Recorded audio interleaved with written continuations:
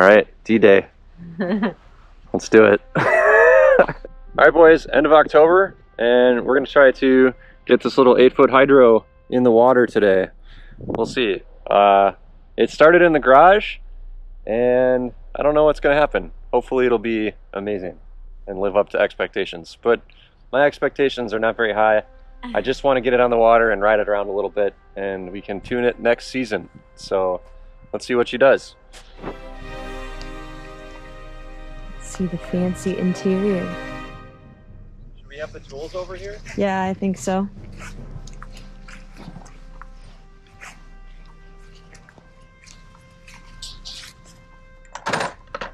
Getting ready.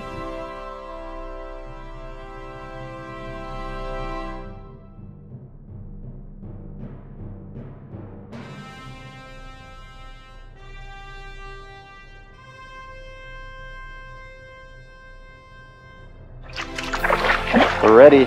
It is uh, the end of October, and I'm gonna go rip on this thing. Oh yeah. Got a christen it. Uh, we don't normally we have champagne, but um, We're not breaking glass into the lake either, so. Yeah, and it's it's cold, so we're going with some Fireball.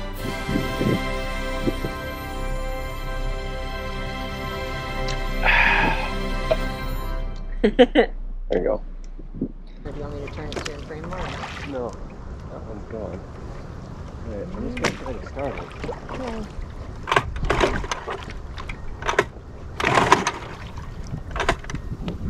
And your thing's connected, your red thing? Yep. You have it clipped to you somehow? No, I don't, but I don't know how to do that. Maybe I'll do this for Just now. For now, yeah. Just screw in.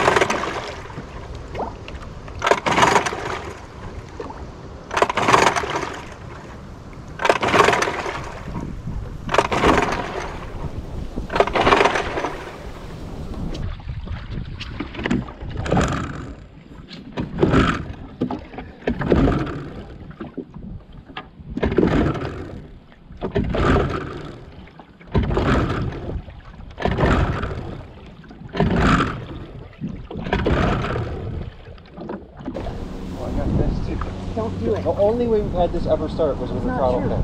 It's not true. Yes, it is. I wedged it open with a screwdriver. I know what I'm talking about. I can say it, but don't though. I'm holding it in my hand. It's my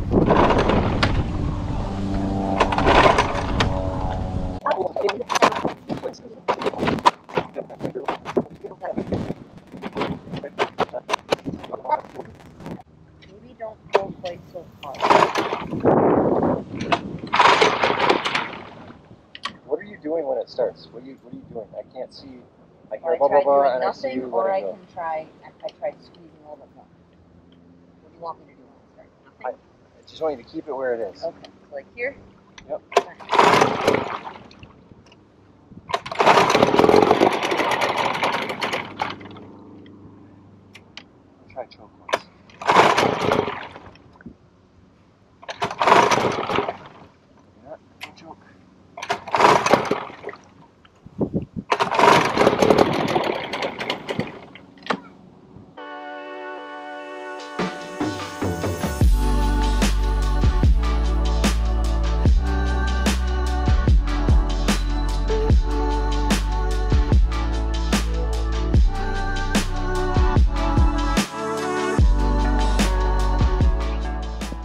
All right, we're calling it.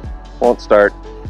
I don't know. I mean, I don't really know what the hell I'm doing. So like, there's no manual or like anything on these carbs that I can find on the internet for default settings. So someone said that the screws should be screwed in until they touch and then unscrew them one and a half turns each. And yeah, that, that worked when it was uh, out of the water and without a lower unit, but I think what we were battling with was to get the engine spun up fast enough to run. There's no neutral, so you have to spin the prop as well. And so I talked to uh, one of my buddies, thanks Mike, but he was saying that sometimes people will start them with the gear case out of the water, rev them a little bit, and then drop them into the water. Um, we're just unable to do that. The steering won't let me tilt it out of the water, and Sarah's too weak to hold it out of the water. Um, the other thing people can do is two guys can lift the back of the boat so that the prop's out of the water and they can start it like that, but I, I can't do that either. So I don't know. I, I guess I'm just, uh, this is as far as we got this year. The boat is in the water. Look at that. It floats. It floats. You even floated around on it a little bit. Yeah, I think my top speed was about 0.2 miles an hour.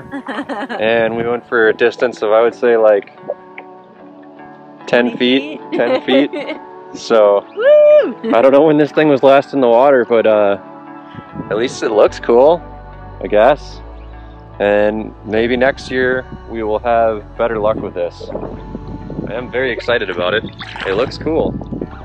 Just uh, needs to start. It's not start. And this is October 27th. It is. What, what is it, 50 degrees? No. Yeah, 52. 52, yeah. So pretty chilly. Feels colder than that in this water. I don't even want to know what the water temperature is. My wetsuit does not cover my feet. Yeah.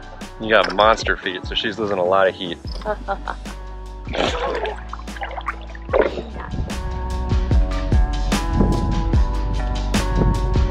That's gross. It looks like the exhaust gasket. Or I don't even know, man. This gasket.